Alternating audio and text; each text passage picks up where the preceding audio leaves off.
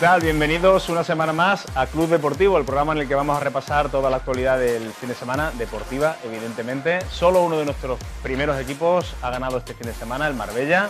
Lo veremos inmediatamente, el San Pedro empató y lamentablemente tanto volei como rugby y em, baloncesto perdieron durante el fin de semana. Pero la actualidad del fin de semana ha estado protagonizada desde el punto de vista que nos ocupa por la eliminatoria de Copa Davis que jugaron España y Rumanía en el Club de Tenis del Hotel Puente Romano. Ahí España certificó su pase a la fase final de la Copa Davis.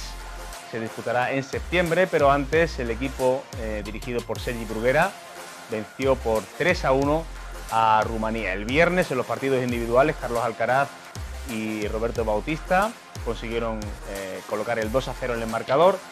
El sábado el malagueño Davidovich debutó en doble junto a Pedro Martínez, perdiendo en ese partido. Y Bautista, en el duelo de números uno, derrotó al número uno rumano, Cosil, para certificar el 3 a 1, como les decía. Un gran ambiente en el club de tenis del Hotel Puente Romano durante todo el fin de semana, en la cuarta ocasión que nuestra ciudad alberga la Copa Tenis.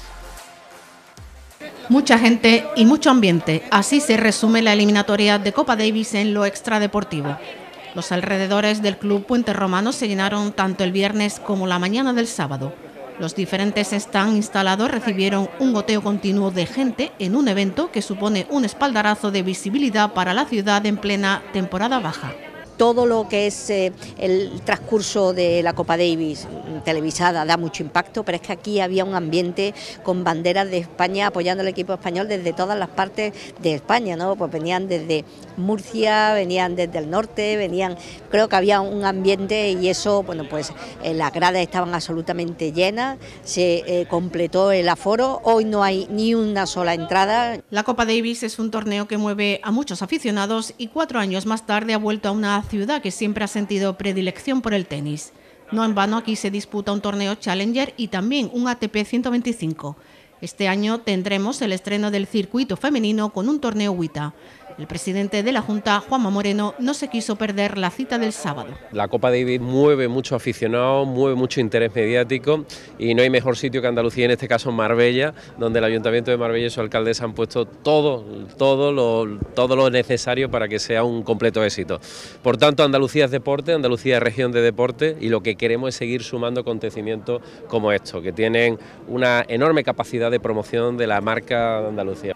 El tenis fue de calidad, aunque quizá el momento más emotivo lo vivimos con el homenaje a Manolo Santana, un marbellí de adopción ilustre, fallecido hace pocas semanas y que recibió el reconocimiento del que siempre fue su mundo, el del tenis, con mensajes muy emotivos de personalidades como Rafa Nadal, Novak Djokovic o Roger Federer.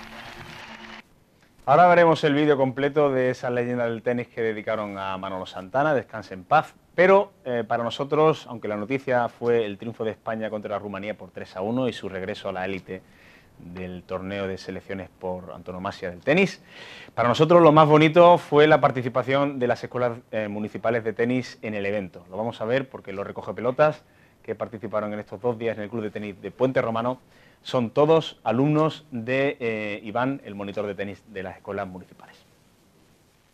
Una de las mejores noticias de esta ronda de Copa Davis en nuestra ciudad es la participación activa de la Escuela Municipal de Tenis en el evento.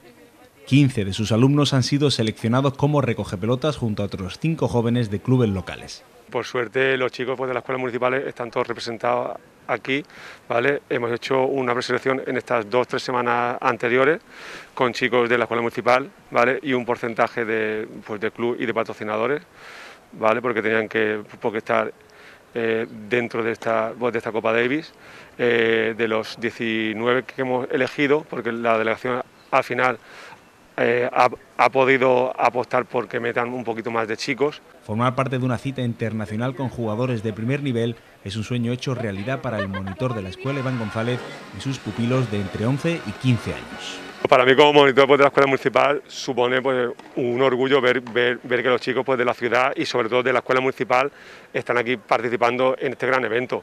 Para ellos es como os he contado antes, es un, es, es un sueño ver a, a, las primeras raquetas del mundo en esta pista central y ellos pues representando a Marbella y a su escuela deportiva. Una gran oportunidad en, en un partido tan importante y estar de recoger pelotas de unos eh, tenistas profesionales importantes. Bueno, juegan que comparándome conmigo soy una principiante.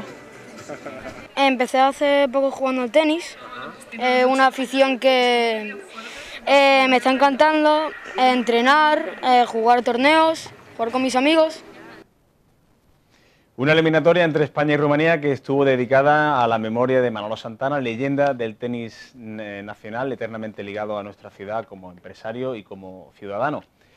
Personalidades importantísimas del tenis como Rafa Nadal, Roger Federer, Djokovic o Rod Laver grabaron un vídeo homenajeando a la leyenda de la raqueta española porque no pudieron estar durante la eliminatoria. Tenemos ese vídeo, pues eh, que lo disfruten. Hola a todos. Bueno, en primer lugar, decir que siento muchísimo no poder acompañaros en, en un día como hoy.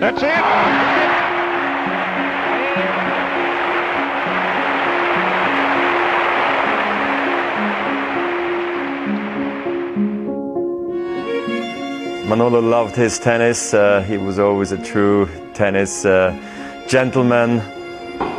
Alguien que, que ha hecho cosas únicas.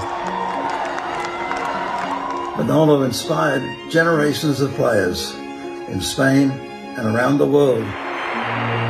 He was an incredible champion and of course he, he, remains an icon, a legend of this sport. La felicitación del campeonísimo que además es gran amigo de Novak Djokovic.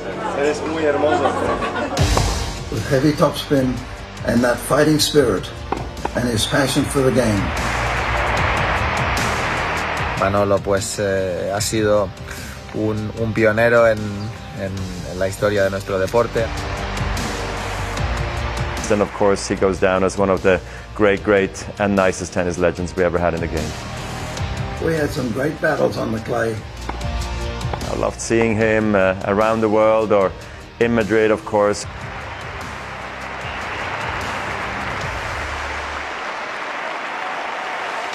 Wherever we got the chance to meet, he was always uh, being very friendly to me and to my family. I'm very grateful for our wonderful relationship over the years. He made me feel so uh, special, really, me and my family. Where he was a tournament director and he used to come pick me up every single time at the airport. Someone that always welcomed me with his uh, open arms, with big heart.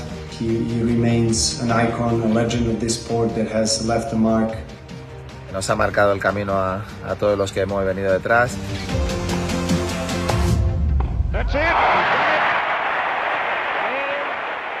I remember all those great times we had, Manolo.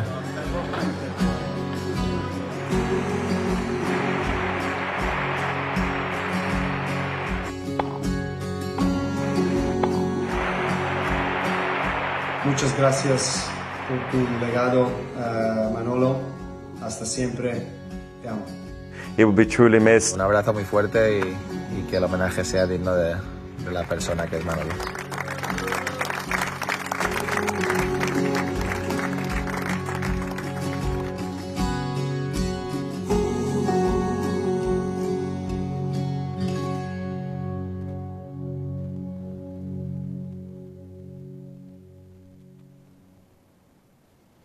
Basta escuchar a Nadal, Federer, Lever o Djokovic, seguramente los mejores jugadores en la historia del tenis para darse cuenta del peso que Manolo Santana tenía en este deporte. Desde aquí, pues también eh, nuestro recuerdo a, Manolo, siempre eh, muy amable con los medios de comunicación, mientras trabajábamos, en fin, una persona muy entrañable. Seguimos y eh, retomamos el, fútbol porque, como les comentábamos al, inicio, en la jornada vigésimo séptima del grupo noveno de tercera ref, la quinta división del, fútbol nacional masculino, el San Pedro empató en su visita al Torre Perogil y se coloca decimocuarto con eh, 25 puntos, todavía en plazas complicadas, luchando por mantener en la categoría. Y el Marbella venció ante la visita del Torre del Mar en la mañana del domingo. Ya vemos aquí el resumen porque se puso el partido muy complicado para el Marbella. Aquí vemos el gol del Torre del Mar en una jugada en el minuto 6 que el equipo de Abraham García no supo defender. Adri marcó el 0 a 1. Jugada balón parado, el balón parado fundamental en esta categoría lo celebraban los jugadores del Torre del Mar y el Marbella que se despistó y volvía a remar contracorriente al comienzo de un partido que se le puso pues muy complicado nada más comenzar. En el 19 ya vemos una primera ocasión de Isuardi que tenía ahí remate, decidió colocársela pero no le dio tiempo, se rehizo pronto la defensa. Y en el 21 Diego Aguito y en la continuación Pato contó con también una buena ocasión, ahí vemos el remate de primeras que se escapó muy cerquita del larguero. Y en el 25 vemos aquí esta jugada, cesión al portero visitante Benito, que obviamente protestaron los jugadores del Torre del Mar, y el árbitro eh, decretó un libre indirecto. En ese libre indirecto, dos minutos después, en el 27, vamos a ver el primer gol del Marbella. Empataba Valero en esta jugada dentro del área axárquica.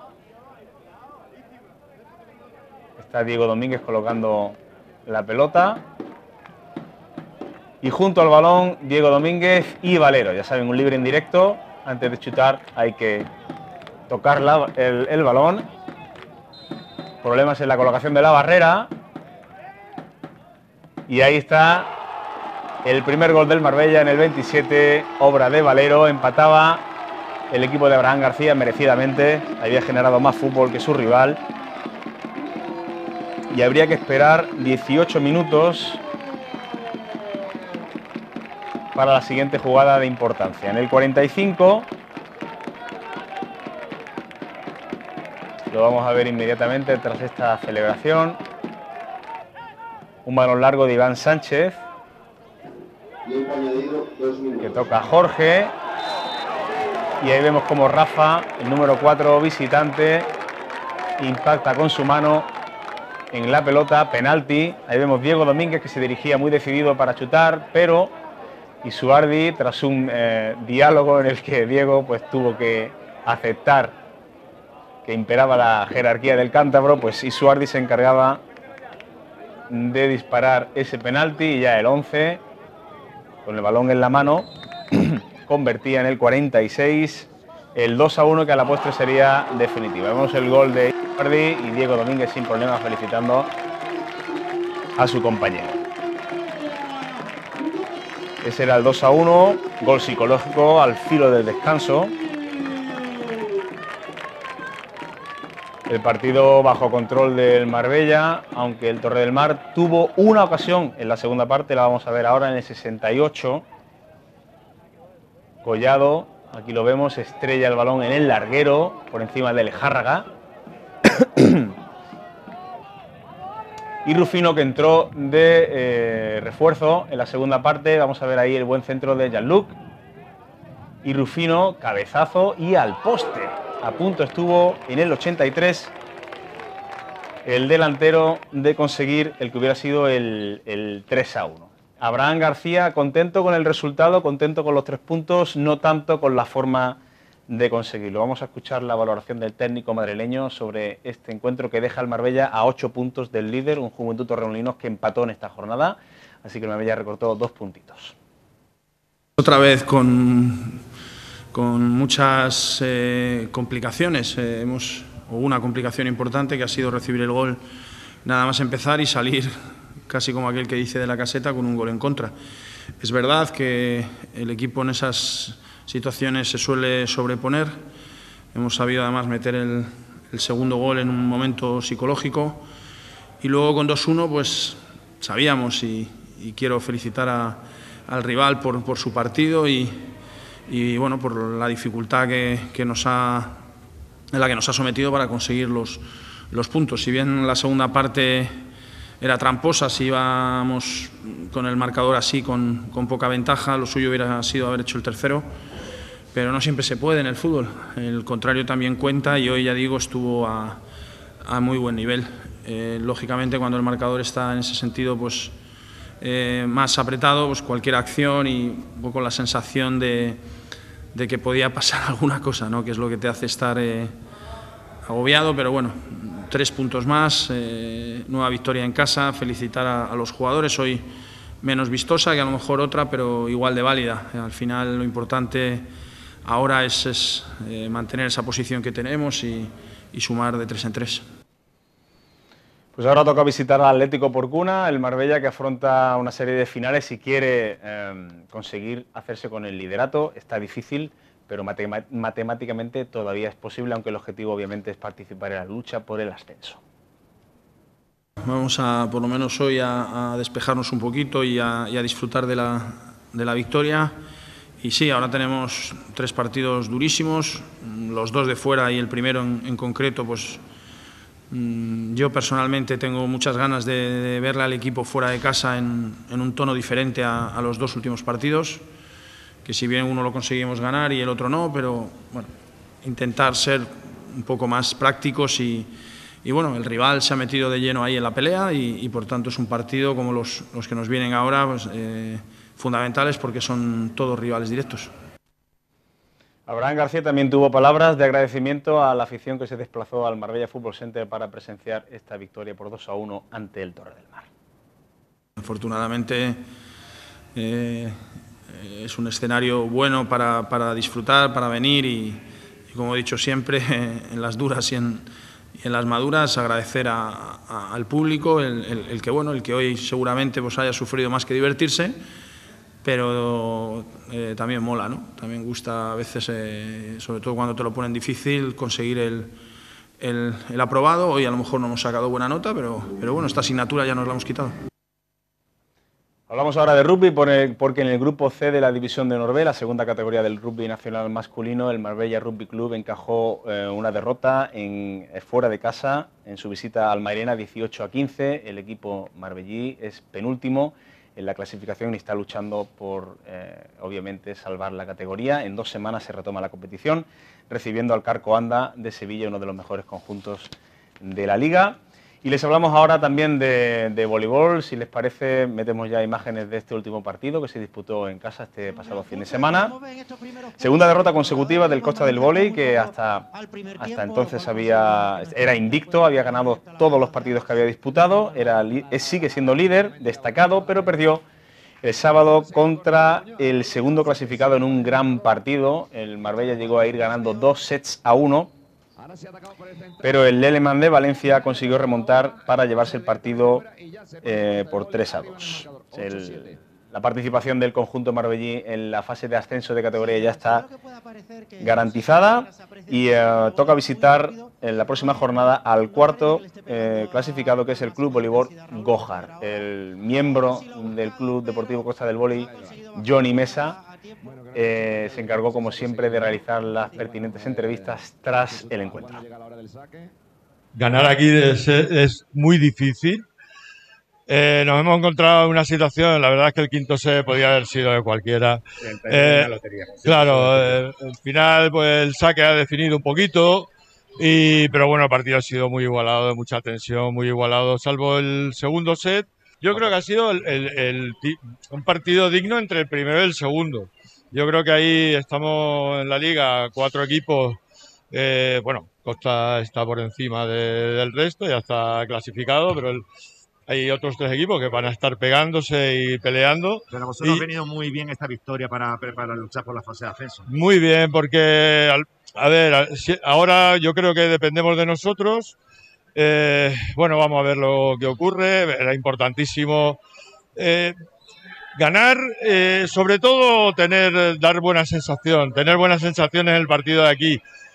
Hemos ganado, estamos contentísimos, evidentemente, pero lo más importante era tener un refuerzo, porque sabía, ganar aquí era muy difícil, teníamos muy claro que, que, iba a ser muy complicado, que ha habido puntos en que ha habido errores, porque ha sido de mucha tensión, pero ha habido, han habido puntos que para mí eh, han sido encantadores verlos, porque han pasado muchas veces con unas defensas increíbles por parte de los dos equipos y bueno, yo creo que la gente se ha, tenido que divertir mucho, le ha tenido que gustar y luego además, eh, aparte ya de divertirse, llega también ese factor de, la igualdad y de la tensión y de la emoción, que eso es lo que hace también que para el público eh, se enganche a este deporte, ¿no? Con la tensión que ha habido el partido y demás, yo me he encontrado en este campo muy a gusto. Quiero decir, muy a gusto que se puede jugar, se puede competir y no, no es una grada, no es un público. No, no hemos de- tenido ningún problema y yo creo que vosotros tampoco con nosotros. Yo creo que Nada, nada, nada, el sí. partido ha sido mu- muy bonito Un partido de para ver. afición, un partido de afición. Bueno, eh, a la vista está los equipos que se están jugando la vida. Se ve que los equipos se juegan la vida y nosotros al ser- tenemos en nuestro alma de doble filo que somos campeones, pero entramos en una fase de relajación en el que nos da, entre comillas, un poco igual. Entonces eso no puede ser tampoco. Nos vale muy bien de entrenamiento porque rotamos más jugadores, jugadores menos habituales están jugando más, los colocadores están repartiendo juego, los opuestos repartiendo juego. Pero segunda derrota 3-2 y a seguir luchando porque de nuevo ahora vamos a jugar a Oscar que también se juega la vida. Entonces al final Sí, sí. pues Ah, nos ah. sirve como entrenamiento básicamente. Vamos a descansar unos momentitos y enseguida retomamos la actualidad del fin de semana deportiva aquí en Club Deportivo RTV.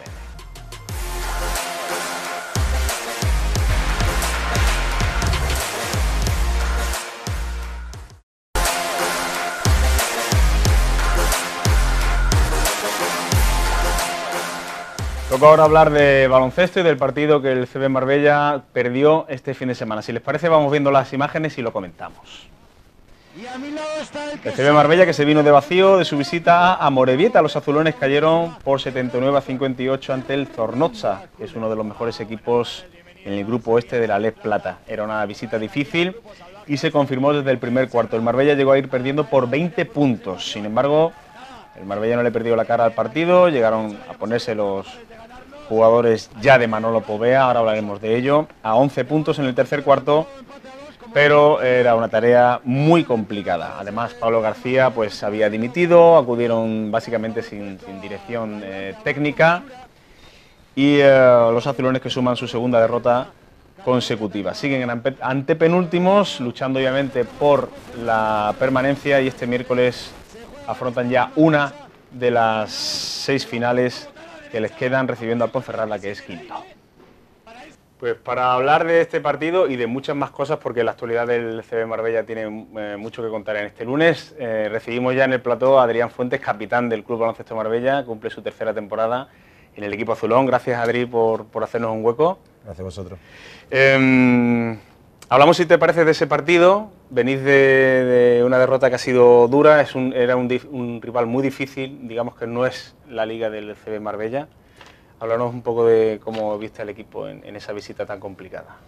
Bueno, era un partido complicado. Primero por el hándicap que teníamos, que era el ir con el segundo entrenador, no que con el primero. Eh, eso marcó el partido, evidentemente, eh, pero aparte ellos, como has dicho, tienen, tienen un gran equipo, están eh, arriba en la, clasificación por algo y encima tenían el plus de motivación de que se metieron una semana antes en la Copa, eh, se clasificaron para la Copa, que además la van a celebrar allí, y, eso hizo pues, que pues, más aficionados se acercaran al pabellón y generaran esa ilusión que, que- hizo que fuera más difícil aún.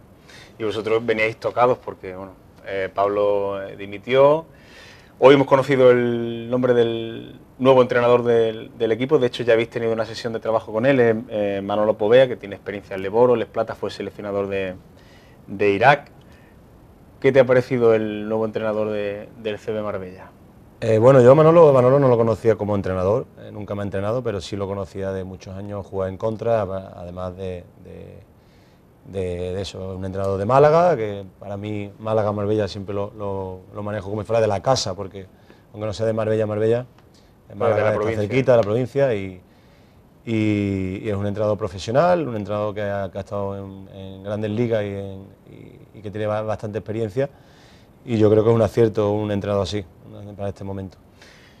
Hablamos de ese momento. ¿Cómo ves al equipo como capitán? Es tu tercera temporada, ya uno de los veteranos de, de la plantilla. ¿Cómo ves al equipo, tercer entrenador de, de la temporada? Eh, venís de una campaña, la anterior, en la que estuvisteis a punto de conseguir el ascenso de categoría.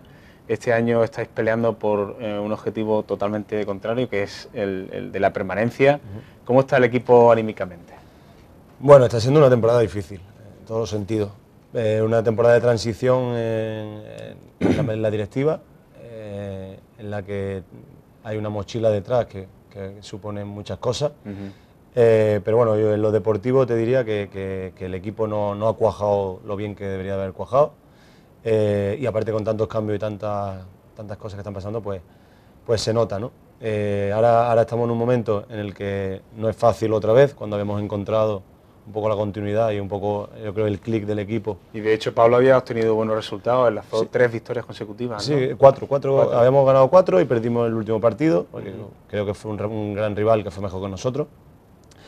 Eh, entonces, para el equipo es duro, eh, porque con Pablo estaba, estábamos jugando bien. Eh, pero bueno, al final esto tenemos que ser profesionales y, y, ahora viene Manolo, Manolo viene con muchas ganas, mucha ilusión. Eh, y yo he visto el equipo hoy con, con una actitud de, de, bueno, esto es lo que hay y hay que, hay que intentar salvar el año como sea. Además, vamos a comentar también un tema eh, incómodo para la plantilla, que son eh, los impagos. ¿Cómo estáis viviendo esa situación? Y desde el club, si se os ha dado alguna garantía para el futuro inmediato. Pues mira, yo, yo te voy a ser, que eso también os afecta. Te voy a, sí, sí, sí, evidentemente. Yo te voy a ser franco. Eh, eh, yo vivido ya dos años eh, esta situación, el año pasado y la de este. Eh, la diferencia es que este año se, nos ha, se nos ha sido claro desde el, desde el minuto uno. Cuando iban las cosas bien, se nos ha sido claro, y cuando van las cosas mal, se nos ha sido claro. Había un, un dinero que no había llegado, el problema ha sido de liquidez, no económico, de liquidez, que en ese momento pues, el club no tenía dinero para hacer, para hacer frente a esos pagos, en el que, en el que yo, como capitán, estoy 100% seguro de que se van a asumir esos pagos. Esta semana pasada ya, ya parte de esos pagos llegaron por fin en ese, ese tramo de dinero que tenía que llegar y, y los jugadores en ese sentido estamos tranquilos. Lo único que evidentemente la situación no es la idónea, Eh, eso no, no quita una cosa, pero, pero el equipo está tranquilo en ese, en ese sentido.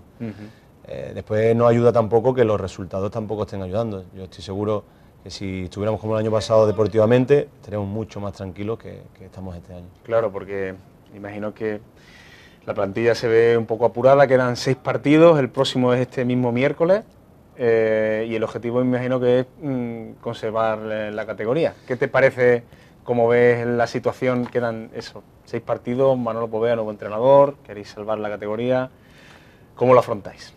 A ver, eh, el objetivo ahora mismo eh, salvarnos, evidentemente, da igual cómo, da igual que sea eh, directamente o sea jugando el play-up.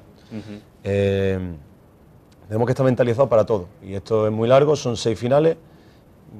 Esta liga ya estamos viendo que cualquiera te puede ganar y cualquiera le puede ganar, aunque, aunque en nuestro grupo creo que hay varios equipos que son bastante difíciles porque tienen buenas plantillas.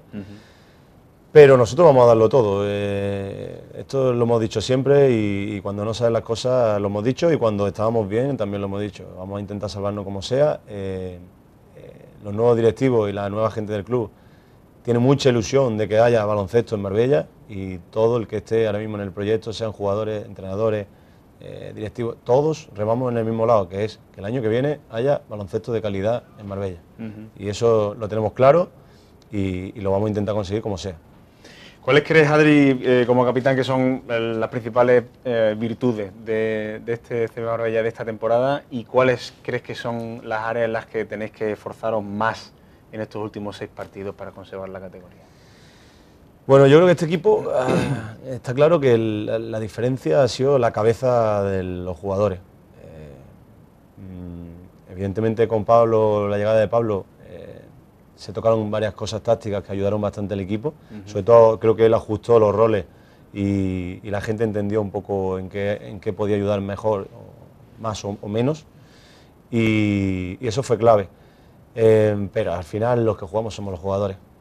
Eh, y la, y cuando, cuando ganamos los jugadores somos los buenos, cuando perdemos los jugadores somos los malos.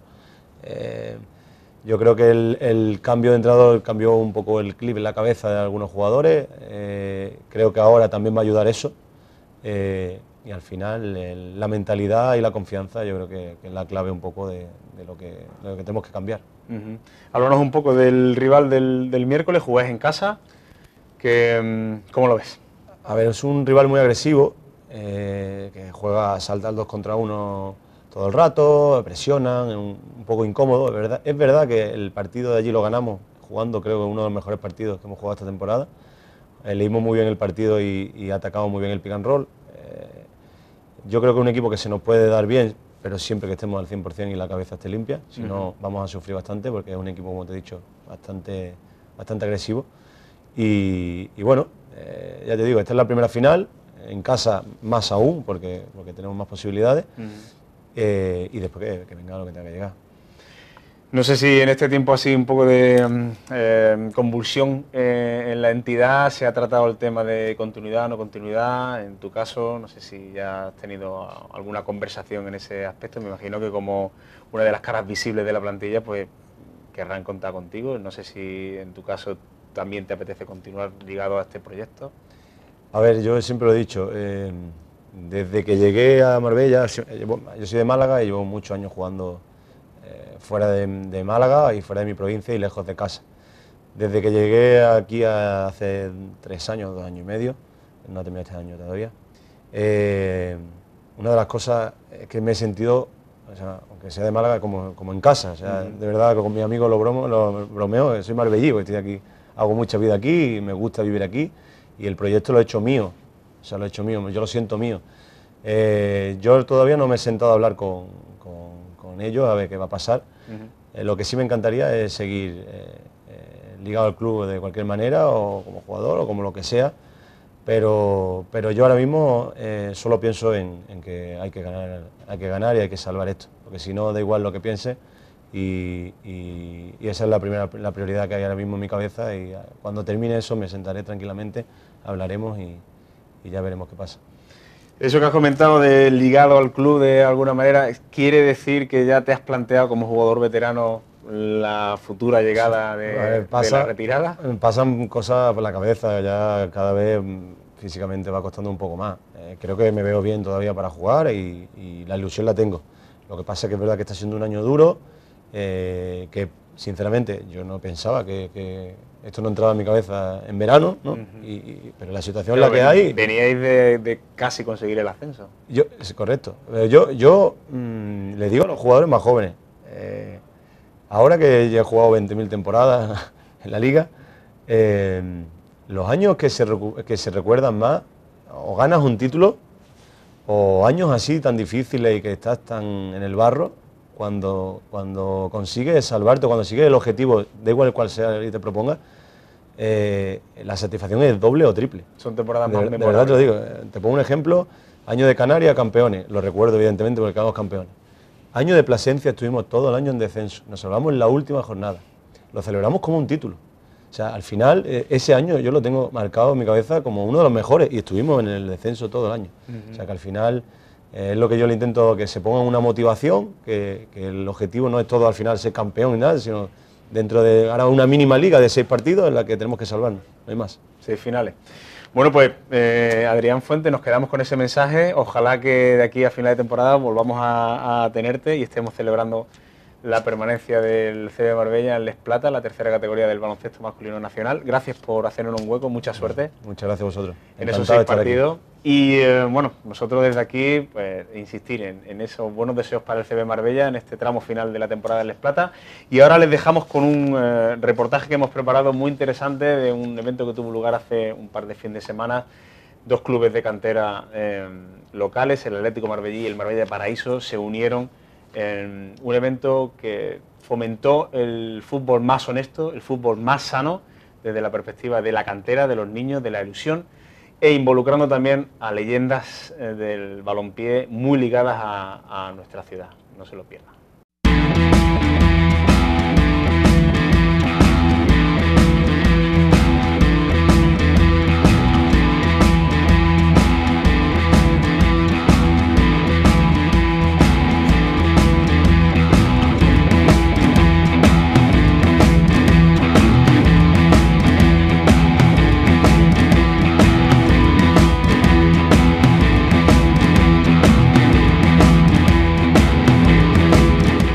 Hay que agradecer al Marbellí y al Marbella Paraíso todo el esfuerzo que, han hecho para la organización de este evento, intentar también agradecer a todos los clubes de la ciudad que han participado.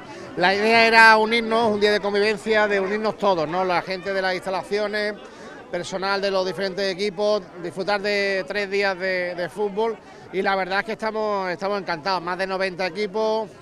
A mí me gusta el fútbol porque eh, me parece divertido, me gusta correr, me gusta marcar goles y pues me gusta.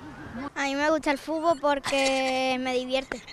El respeto, el saber perder, saber ganar, no chulearse, no meter patada a la gente por la cara, tienes que jugar con actitud y tienes que hacer unas cuantas cosas para jugar bien. y el compañerismo también. Hay muchos equipos y está chulo, está chulo aquí. Y llegar a la final, a ver si podemos.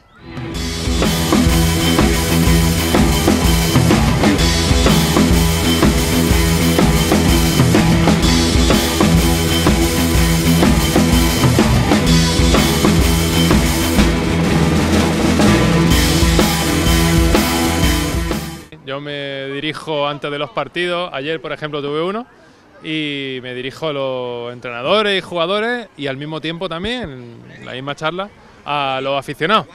Y ahí les pido que, que nos ayuden a crear un ambiente educativo, un ambiente de respeto, un ambiente en el que los chicos puedan formarse y divertirse al mismo tiempo.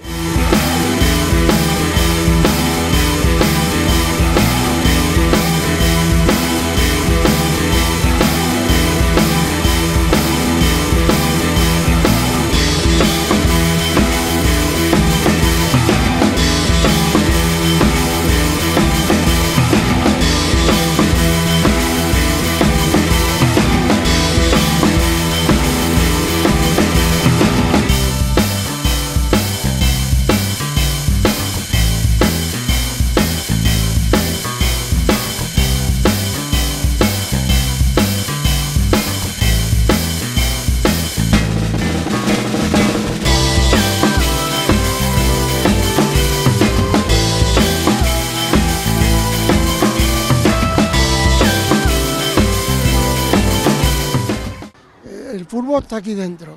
Desde que yo era así, ya jugaba por todo Marbella, por las calles, como te he dicho. Eh, unas cuantas veces me cogieron, me llevaban a hombros, las cosas de los niños de antes y tal, y siempre he estado luchando. He hecho lo invencible por jugar fútbol siempre. Y empecé en Madrid, divisiones inferiores del Real Madrid, después al Castilla. Tuve la suerte de estar un año en el Madrid, pero sin jugar prácticamente, pero bueno, eso, eso se te queda marcado. Y después he estado jugando en Santander, he estado jugando en el Alavés, en el Linares, bueno. He jugado en el Athletic Bilbao, he estado en, vine al Málaga, estuve en el Málaga nueve años y es como, como futbolista, ¿no? En el Córdoba, en el Elche, en Primera División, he pasado... Yo la verdad que he tenido suerte y el fútbol me ha dado mucho, ¿no? Porque llegar a, a donde se llega es muy difícil, como ha dicho él, ¿no?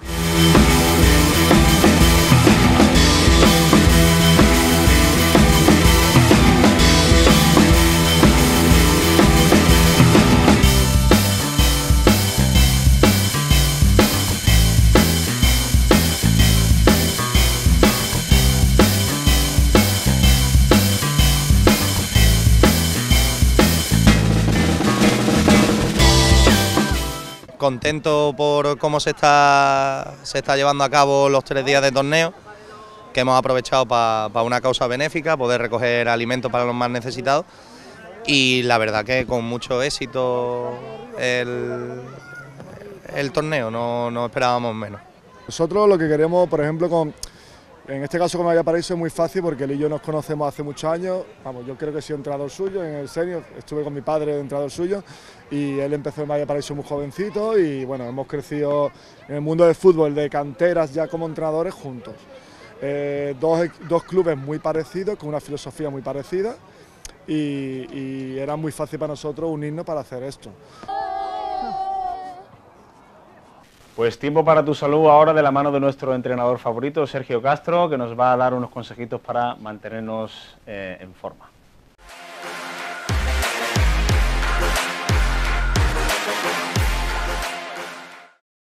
Hola, estamos aquí de nuevo en Tiempo para tu Salud. Hoy vamos a hablar de algo súper curioso, algo que vemos todos los días, incluso que a veces sin saber realizamos o incluso jugamos, y son los mitos del deporte. ¿Vale? Primero que tenemos, vamos a hablar de esa de tomar eh, agua con azúcar diluida posterior a un ejercicio para evitar las agujetas.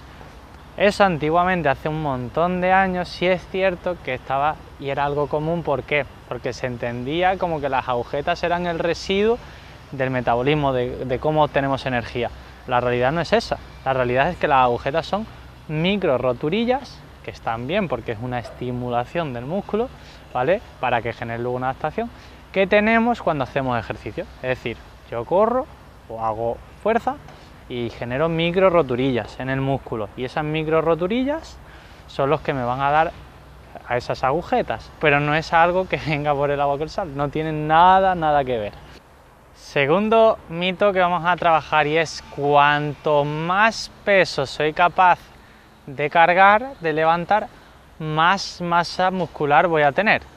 Eso no es así, obviamente. Es cierto que para el trabajo de fuerza hipertrofia, o, conocido como fuerza hipertrofia, sí es cierto que requiere una carga entre el 60, 70, 80% del famoso RM, de la repetición máxima. Pero no es así, ¿vale? ¿Por qué? Porque también tenemos que tener en cuenta las, el número de repeticiones. Y además tenemos que tener muy en cuenta la técnica con la que hago. No sirve de nada que levante 100 kilos cuando estoy haciendo una técnica mala, porque lo primero que voy a conseguir es lesionarme. Y lo segundo es que no voy a generar una adaptación correcta porque me veré estancado en el futuro. Por tanto, ese mito vamos a tumbarlo, vamos a trabajar en progresión, vamos a trabajar con las cargas correctas y con el número de repeticiones adecuadas. El tercer mito, ¿vale? Vamos a hablar de la ingesta de proteínas cuanto más proteína como, más fuerte me veo, o más, con, más mayor, con mayor masa muscular me veo. Eso es mentira. Además, eso está recomendado por los dietistas que te están diciendo de que entre 1,2 y 1,4 gramos de proteínas por kilo que pese, es decir, si peso 50 kilos, me están diciendo los dietistas que tengo que ingerir en torno a 60 65 gramos de proteínas al día. ¿Vale? Eso es lo recomendable para una persona que haga deporte normal y que nunca debemos de ceder de los 2 gramos de ingesta de proteica a la, al día. ¿Por qué? Porque empezamos a hacer daño al páncreas, en fin, ahí, ahí que empezamos a hacer daño porque el cuerpo no es capaz de asimilar eso. ¿Vale? Cuarto mito del día. Si ingiero azúcar antes de hacer ejercicio, 10 minutos antes de hacer ejercicio, mejora el rendimiento. No es así, lo único que puedo conseguir es que aumente la insulina y en ese momento de aumentar la insulina empieza la actividad física y baje y nos encontremos el típico efecto rebote y nos dé una sensación pues de mareo, de cansancio, de no poder con el cuerpo. ¿Por qué? Porque lo que realmente hemos conseguido es bajar al contrario, que es lo que creemos, ese nivel de azúcar sanguíneo. Ojito con eso, tener mucho cuidado. Si es cierto que ahora hay geles, pero eso no es azúcar, estamos hablando de azúcar, ¿de acuerdo? Otro de los mitos más importantes, vamos a por el quinto, sudar abundantemente mientras hago eh, ejercicio me ayuda a perder más grasa.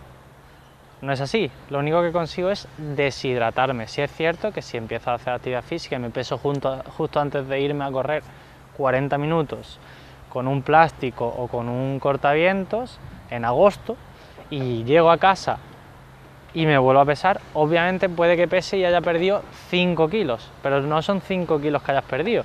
Si has tenido que perder 70 gramos de, grasa, vas a perder 70 gramos, lo único que el resto es pérdida de, de lo que viene a ser agua y sales, por tanto es muy delicado y tendríamos que tener mucha precaución el practicar esos ese tipo de ejercicio con el cortavientos o con el plástico, con lo que sea, porque lo único que consigo es deshidratarme y cuando baja del 3% de deshidratación podemos generar un daño a nivel corporal que ya incluso puede llegar a ser irreversible. Así que por favor tener mucho cuidado con este mito. Sexto y último mito del día, del que vamos a hablar hoy, y es, ¿se pierde grasa de zona localizada? No es así. Yo por mucho trabajo abdominal que haga, no voy a reducir esa, mm, ese tejido lipídico, esa grasita que pueda tener en el abdomen, más que en otras zonas. Me explico. Si estoy trabajando abdominales, además de conseguir fortalecer el abdominal, que eso es la respuesta que realmente buscamos con ese tipo de ejercicio, voy a quemar grasa de la zona abdominal, pero también de los brazos y piernas, ¿vale? Entonces, mm, olvidaros de cremas calefactoras, olvidaros de simplemente hidrataros bien, hacer ejercicio de manera regular y intentar hacer ejercicios por la vía aeróbica un poquito más prolongado que nos va a evitar hacer daño muscular y encima nos va a permitir trabajar más tiempo que si, ese, si el fin que tenemos realmente es perder masa grasa de nuestro cuerpo. Y con esto, hasta aquí el programa de hoy. Hasta luego. Estamos enfilando la recta final de este programa y eh, nos vamos a despedir con un reportaje que dedicamos a la cantera, en este caso, del tenis de mesa.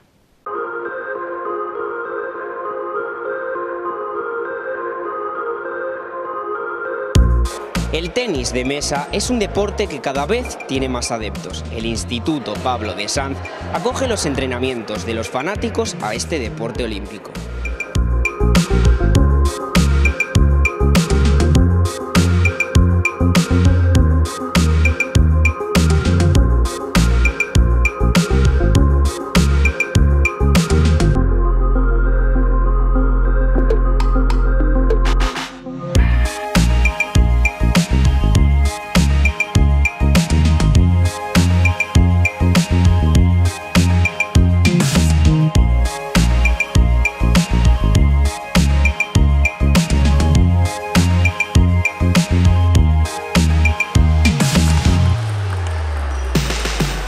Pues estamos aquí en el Instituto de Sanz, estamos viendo el entrenamiento de tenis de mesa, que es un deporte que cada vez tiene más adeptos y es olímpico. Vamos a preguntarles, yo estoy intentando, estoy intentando concentrarme, pero es imposible porque esta pelota va muy rápido, así que vamos a preguntarles a ellos. Cuéntanos, a ver, ¿quién eres tú? Mi nombre es Cristian Sánchez Nechiporenko y estoy en el club de Marbella. Bueno, ¿y cómo empezaste tú en esto del tenis de mesa? Cuéntanos, porque yo desconozco el tenis de mesa, conozco el tenis, el pádel, pero desconozco este deporte. Cuéntame. Pues la verdad es que este deporte es muy bueno. Yo estuve aquí porque mi tío estaba en otro club de Marbella y yo quería jugar también. Y me apunté.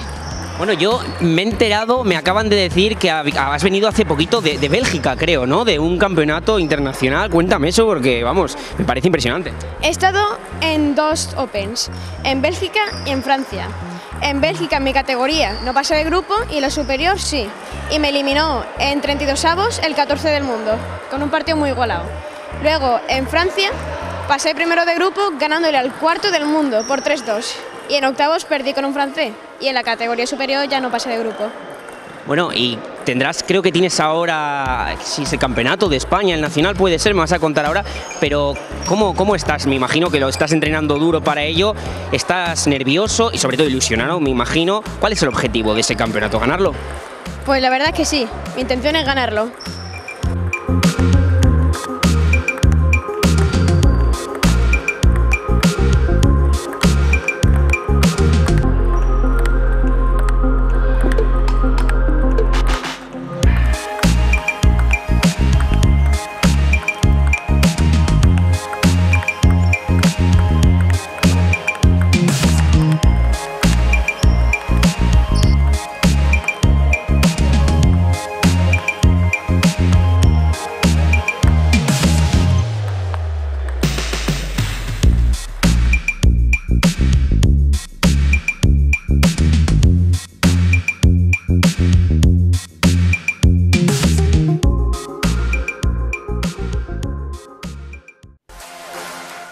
Gracias a Sier y a los compañeros encargados de este reportaje. Hasta aquí el Club Deportivo de esta semana. Esperamos que haya sido de su grado. Deseándoles una buena semana hasta el siguiente programa. Que lo pasen muy bien y aquí nos vemos el lunes de la semana que viene.